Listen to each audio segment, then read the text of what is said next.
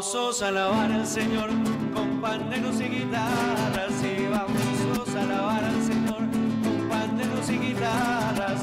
Cristo me dijo que luchara otra vez, que luchara otra vez, que luchara otra vez. Cristo me dijo que luchara otra vez, que luchara otra vez, que luchara otra vez. Que no me desesperara, sino que tuviera fe.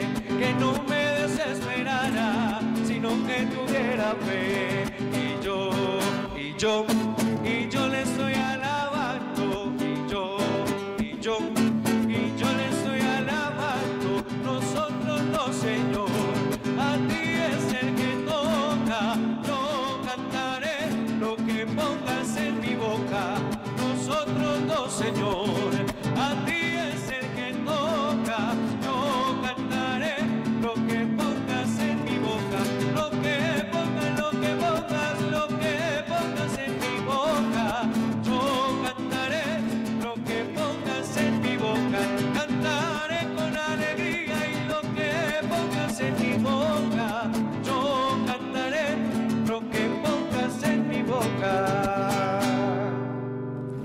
reunimos en el nombre del Padre y del Hijo y del Espíritu Santo.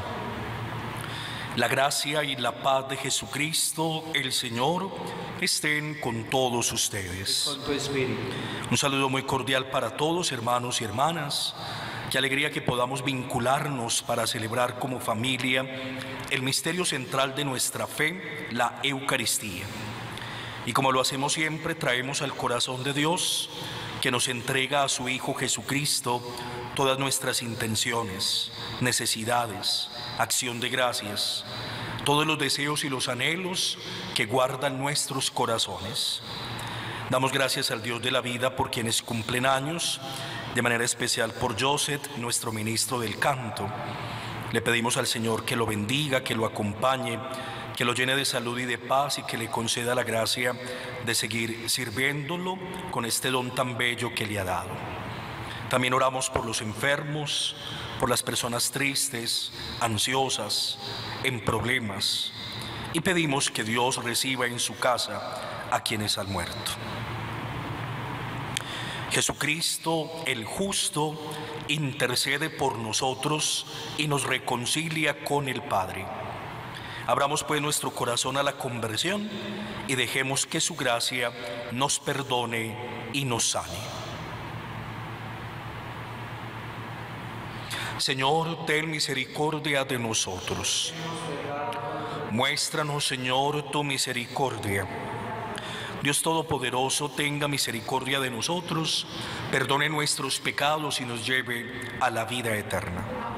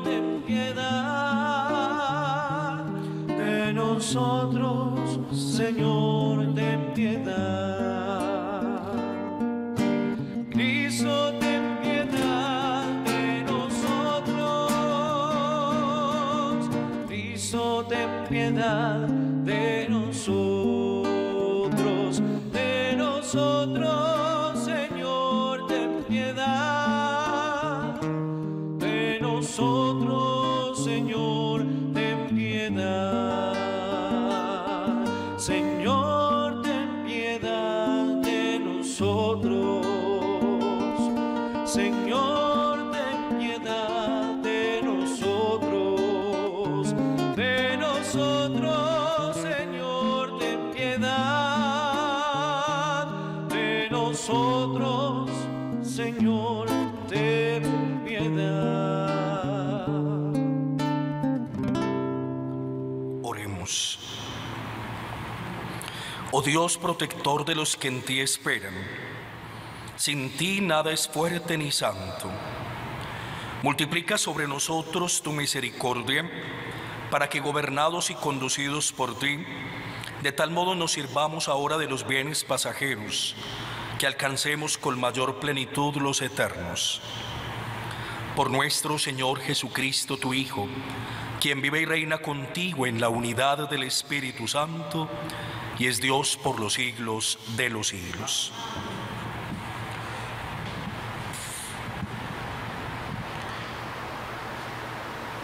Del profeta Jeremías. Mis ojos se deshacen en lágrimas. De día y noche no cesan. Por el terrible, por la terrible desgracia que padece la doncella, hija de mi pueblo. Una herida de fuertes dolores. Salgo al campo, muertos a espada. Entro a la ciudad desfallecidos de hambre tanto el profeta como el sacerdote vengan sin sentido por el país. ¿Por qué has rechazado del todo a Judá? ¿Tiene asco tu garganta de Sión? ¿Por qué nos has herido sin remedio? Se espera la paz y no hay bienestar. Al tiempo de cura sucede la turbación. Reconocemos, Señor, nuestra impiedad la culpa de nuestros padres, porque pecamos contra ti. Nos rehaces por tu nombre, nos, nos rechaces, no nos rechaces por tu nombre, no desprestigies tu trono glorioso.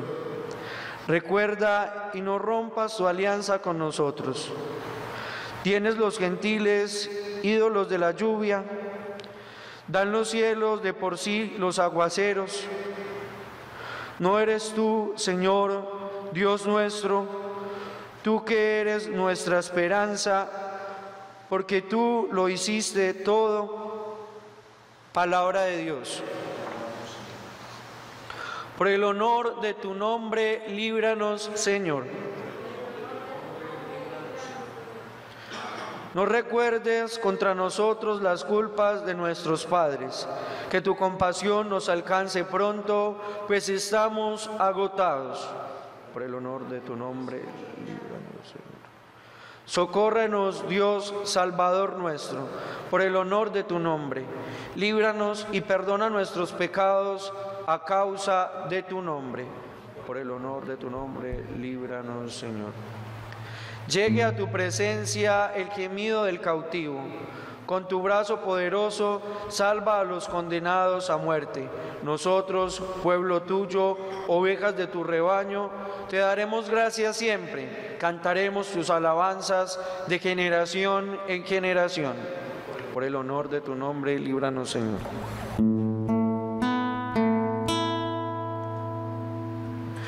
Cuando sientas que tu hermano necesite de tu amor, no le cierren las entrañas y el calor del corazón. Busca pronto en tus recuerdos la palabra del Señor,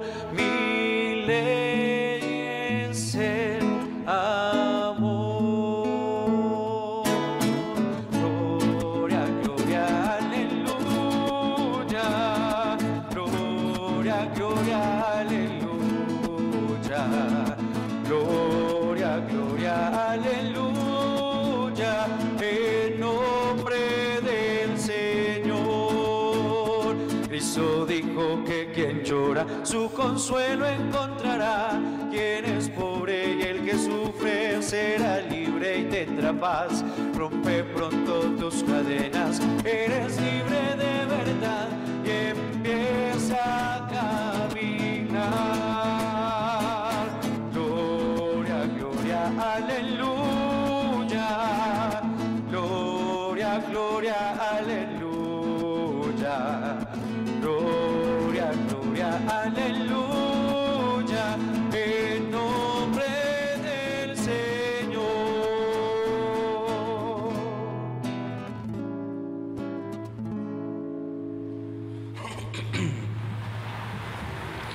Hermanos y hermanas, el Señor esté con ustedes. Les proclamo El Evangelio de Jesucristo según San Mateo. En aquel tiempo Jesús dejó a la gente y se fue a casa. Los discípulos se acercaron a decirle, explícanos la parábola de la cizaña en el campo. Él les contestó, el que siembra la buena semilla es el Hijo del Hombre, el campo es el mundo. La buena semilla son los ciudadanos del reino. Las cizañas son los partidarios del maligno. El enemigo que la siembra es el diablo. La cosecha es el final de los tiempos y los segadores los ángeles. Lo mismo que se arranca la cizaña y se echa al fuego, así será al final de los tiempos. El Hijo del Hombre enviará a sus ángeles y arrancarán de su reino todos los escándalos y a todos los que obran iniquidad y los arrojarán al horno de fuego. Allí será el llanto y el rechinar de dientes. Entonces los justos brillarán como el sol en el reino de su Padre. El que tenga oídos, que oiga. Palabra del Señor. Hace pocos días, en domingo, tuvimos la oportunidad de escuchar tres hermosas parábolas que presentaban el acontecimiento del reino de Dios. La parábola del granito de mostaza que se siembra y cuando crece se forma un árbol donde vienen los pájaros a hacer su nido. La parábola del poco de levadura que se pone en la masa y aunque es poco frente a la cantidad de harina, todo lo fermenta y lo hace crecer. Y la parábola del trigo y la cizaña. Todos la conocemos de memoria y hoy la comunidad cristiana de San Mateo ha querido poner en labios de Jesús una posible explicación de la parábola. Es muy llamativo porque no todas las parábolas se explican. De hecho, no deberían explicarse porque lo que Jesús quería al contarlas era que cada corazón sacara la conclusión, que cada conciencia se dejara tocar precisamente por el impacto de la palabra, que cada ser humano frente a Dios que viene a reinar pudiera tomar su decisión. Por eso se contaba la parábola, pero la última respuesta y la conclusión la sacaba la persona, el oyente, que estaba allí junto a Jesús o nosotros hoy que nos situamos frente a la palabra. Pero es que la parábola de la cizaña y del trigo causan mucho estupor y para evitar complicaciones, entonces la comunidad ha querido darnos una explicación. Yo quisiera que nos detuviéramos en dos preguntas que le hacen los campesinos que descubren la cizaña al dueño del campo. Yo les recuerdo que un hombre sembró buena semilla y mientras dormían el enemigo vino y sembró cizaña. Cuando cayeron en la cuenta los agricultores van donde el dueño del campo y le hacen esta pregunta. ¿Acaso no sembraste buen trigo? ¿Cómo es que apareció la cizaña? La cizaña tiene una condición muy particular. Es una semilla venenosa pero mientras va creciendo se parece demasiado al trigo verde. Solamente cuando ya están maduros el trigo y la cizaña, uno los puede distinguir. Pero en el proceso de la siembra, en el proceso del crecimiento, se parecen demasiado y por eso era factible confundir al uno con el otro. Y entonces se sorprenden los agricultores de que aparezca la cizaña sabiendo que se sembró buen trigo. Y es la pregunta que todo corazón humano se hace. ¿Y por qué el mal? ¿Y de dónde viene el mal? Y si Dios es bueno y todo lo quiere bien, ¿por qué aparece el mal en todas sus manifestaciones? Es una pregunta existencial. Es una pregunta que han afrontado los filósofos, los pensadores, los maestros espirituales, las grandes religiones. ¿Por qué existe el mal? Y es muy interesante porque no hay una explicación del origen del mal. El mal sigue siendo un misterio, un enigma. Pero la parábola deja clara una cosa. El mal no viene de Dios. No ha sido Dios quien lo ha creado o lo ha puesto. El mal es una consecuencia de un mundo finito y en evolución y en el caso de los seres humanos del abuso de la libertad. Nosotros no podemos ir por el mundo culpando a Dios de todas las desgracias que suceden. Uno no puede pasarle la factura a Dios de aquello de lo que nosotros somos responsables y culpables, como si fuéramos niños caprichosos que hacemos las cosas y luego buscamos culpables en los demás. Yo todavía recuerdo una anécdota en la parroquia Santa Cecilia, en Robledo, donde trabajé hace unos años. Y entonces había una niña muy cercana, era colita de unos 8 o 9 años, y era una niña muy inquieta. Y en algunos momentos de la jornada ella permanecía con su bisabuelo, que era un hombre muy entero, muy fuerte. Entonces la dejaban con ella mientras la mamá y la abuelita iba a hacer diligencias o cualquier cosa en la calle. Y alguna vez llegó la mamá de la niña y encuentra en la mesa del comedor un letrero gigante con su nombre rayado, como si hubiese sido con un cuchillo o con un punzón. Y entonces la mamá llama a la niña y la confronta y le dice, oye, ¿qué pasó? ¿Qué hiciste? ¿Por qué dañaste la mesa? Y la niña le dice, no mami, no fui yo, fue mi abuelito. Era el nombre de ella rayado con una letra infantil de preescolar y la mamá, cuando le pregunta, la única salida que tenía la niña era decirle, no, fue mi abuelito. Y ahí comprendí yo que así somos todos los seres humanos. Siempre vamos buscando culpables y cuando se nos agotan, entonces es Dios. Es culpa de Dios que creó un mundo así. Es culpa de Dios que me creó así. Es culpa de Dios que no interviene. Es culpa de Dios que permite el mal sabiendo que nos ama. Y la parábola deja claro, no es Dios el origen del mal, pero sí es Dios la respuesta al mal. Y ahí es donde viene la segunda pregunta. Porque los campesinos le dicen, arranquemos la cizaña, necesitamos sacar la maleza, el veneno, para que crezca bien el trigo bueno. Y entonces le preguntan al dueño, ¿quieres que arranquemos la cizaña? y vaya la, respuesta del, del dueño de la parcela. No, no la arranquen. No sea que al sacar la cizaña saquen el buen trigo y se arruine todo. Dejémoslos hasta el final. Y al final entonces separaremos la cizaña del trigo. Porque Dios espera, porque Dios aguarda, porque Dios no actúa arbitrariamente arrancando la cizaña del trigo porque Dios confía en que el buen trigo sea más poderoso y más invasivo que la cizaña.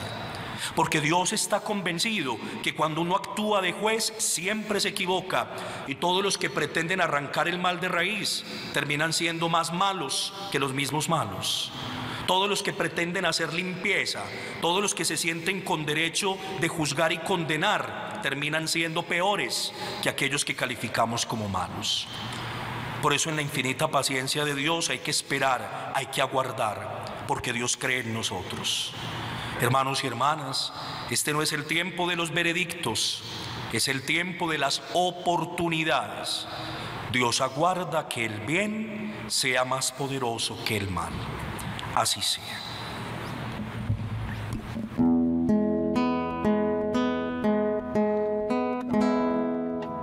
hazme una ofrenda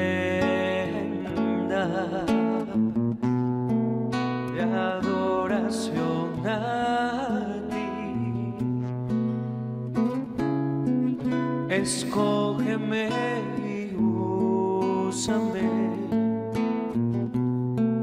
para alabarte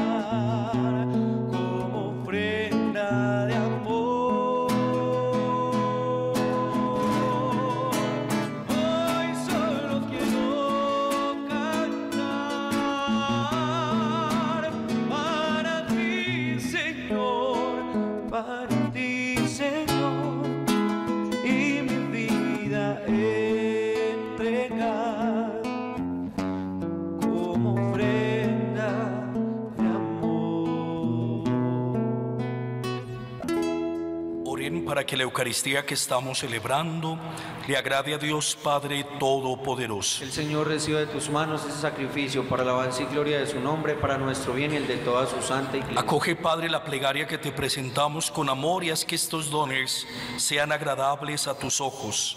Por Jesucristo nuestro Señor. Amén. El Señor está con ustedes. Con. Levantemos el corazón. El. Demos gracias al Señor nuestro Dios. Es justo y necesario. En verdad es justo y necesario darte gracias siempre, Señor Padre Santo, Dios misericordioso y eterno, porque no dejas de alentarnos a tener una vida más plena. Y como eres rico en misericordia, nos ofreces tu perdón y nos invitas a confiar a tu bondad. Por eso, llenos de admiración y agradecimiento, cantamos tu gloria diciendo. Santo, santo, santo, dicen los querubines. Santo, santo, santo es nuestro rey Yahvé. Santo, santo, santo es el que nos redime. Porque mi Dios es santo y la tierra llena de su gloria es. Y la tierra llena de su gloria es. Cielo y tierra pasarán, mas sus palabras no pasarán. Cielo y tierra pasarán, mas sus palabras no pasarán. No, no, no pasarán. No, no, no, no, no pasarán. Te alabamos Padre Santo porque eres grande, porque has hecho todo con sabiduría y amor. Por eso te pedimos que mires con bondad a tu pueblo y derrames sobre estos dones tu espíritu para que se conviertan en el cuerpo y la sangre de tu Hijo muy amado. Él mismo la noche de su pasión tomó pan de la mesa y dando gracias te bendijo, lo partió y lo dio a sus discípulos diciendo, tomad y comed todos de él porque esto es mi cuerpo entregado por vosotros.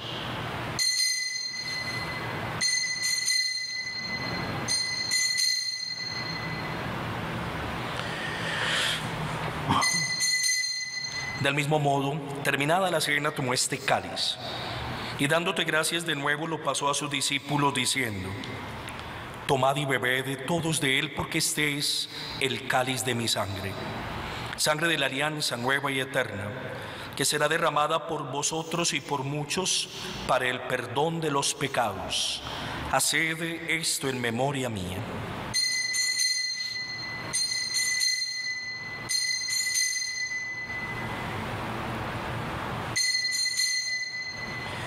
En medio de nosotros está Jesucristo, Él es el sacramento de nuestra fe.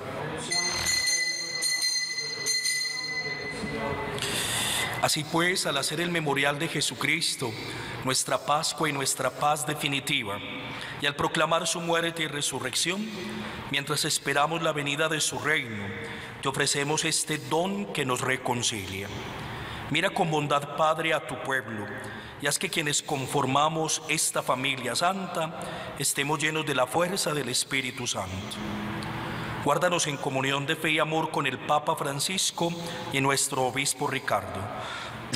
Recibe en tu reino a quienes han muerto y un día con la Virgen María, San José y todos los santos, permítenos reunirnos en tu reino para proclamar eternamente tus alabanzas. Por Cristo, con Él y en Él, a ti Dios Padre misericordioso, en la unidad del Espíritu Santo, todo honor y toda gloria por los siglos de los siglos. Llenos de alegría porque somos hijos amados de Dios, digamos confiadamente la oración que Jesús nos enseñó. Padre nuestro que estás en el cielo, santificado sea tu nombre, venga a nosotros tu reino. Hágase tu voluntad en la tierra como en el cielo. Danos hoy nuestro pan de cada día. Perdona nuestras ofensas, como también nosotros perdonamos a los que nos ofenden. No nos dejes caer en la tentación y líbranos del mal.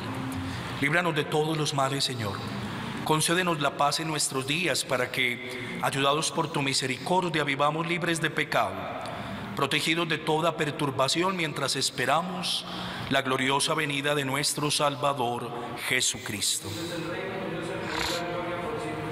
Señor Jesucristo, que dijiste a tus apóstoles, la paz les dejo, mi paz les doy. No tengas en cuenta nuestro pecado, sino la fe de tu iglesia. Conforme a tu palabra, concédenos la paz y la unidad, tú que vives y reinas por los siglos de los siglos. Amén. La paz del Señor esté siempre con ustedes. Y con tu espíritu. Cordero de Dios que quitas el pecado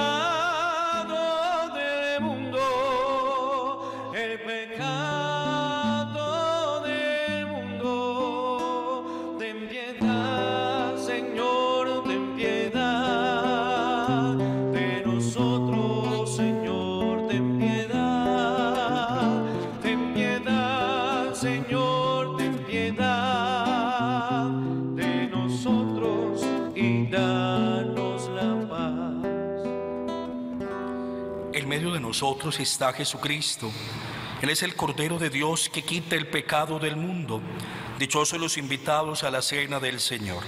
Señor, yo no soy digno de que entres en mi casa, pero una palabra tuya bastará para sanar.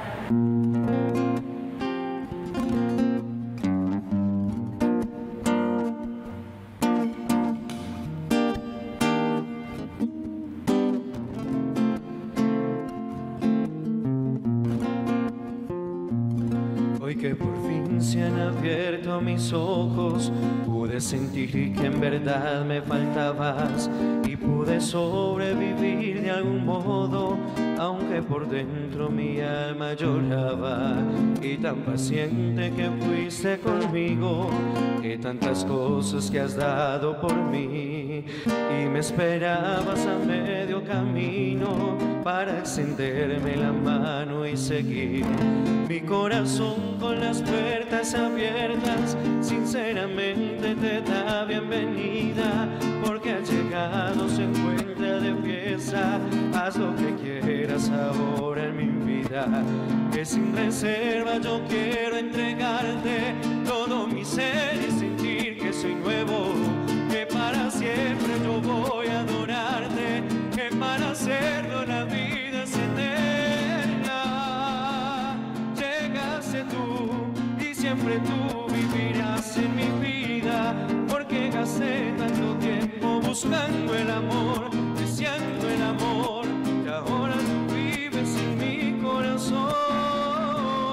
Llegaste tú para decirme que me amas tanto, eso ahora te entrego mi canto y mi voz, todo mi amor, y ahora tú vives en mi corazón.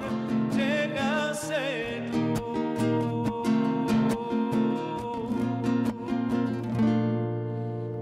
habiendo recibido, Señor, el sacramento del cielo, memorial perpetuo de la pasión de tu Hijo, concédenos que nos aproveche para la salvación este don que su amor inefable nos dio. Por Jesucristo nuestro Señor. El Señor esté con ustedes. Y la bendición de Dios Todopoderoso, Padre, Hijo, Espíritu Santo, descienda sobre ustedes y sus familias y los acompañe siempre. Pueden estar en paz. Demos gracias a Dios. Tiene el color de la mañana cuando sale el sol. Está vestida de arco iris, perfumada en flor y en su mirada un cielo azul. Es un arrullo, su voz tan materna en sus cabellos